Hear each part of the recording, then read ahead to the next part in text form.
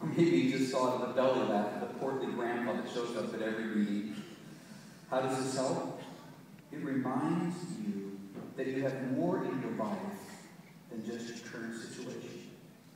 You have more in your life than just the shackles and chains around you. You have more in your life than the dungeon and the smelly old guard that has changed you could care less about you. If you, as a follower of Jesus, have invested in building relationships and community and family, investing in them, then you have a community of people around you. And listen to this when you have a community of people around you who believe in you and who love you and you call them to mind in prayers with joy, you take that minus the steepiness of your current situation. Paul says you will discover that it will equal joy on your ledger. If you were to practice that today, this first principle, who would you call mind? And what would you say to God about that? I did it this week, and I can't even tell you how long the list was. It was incredible. For, I just you a couple. I thank God for my wife, who still loves me after all these years, discovering almost every bad thing about me, and still wanting to do me.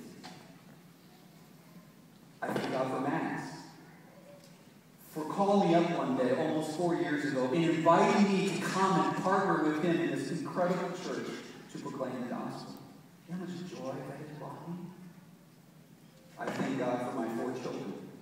I really do. And, and this may not be your situation right now, but if you're a parent, you'll understand why I'm saying this about my situation. Right now, all four of my grown children are currently making good choices. That's incredible! I'm not saying it'll always be that way, and I know it may not be your situation right now, but it's mine. And when I call them to name and I think of the choices they're making, man, my joy thermometer just goes through the roof. Any grandparents in the room?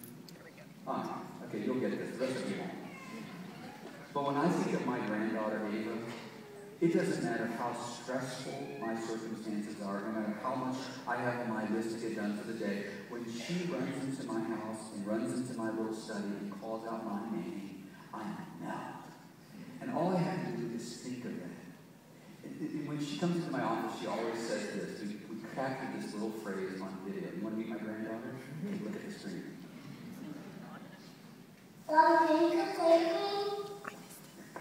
Did you hear what she said?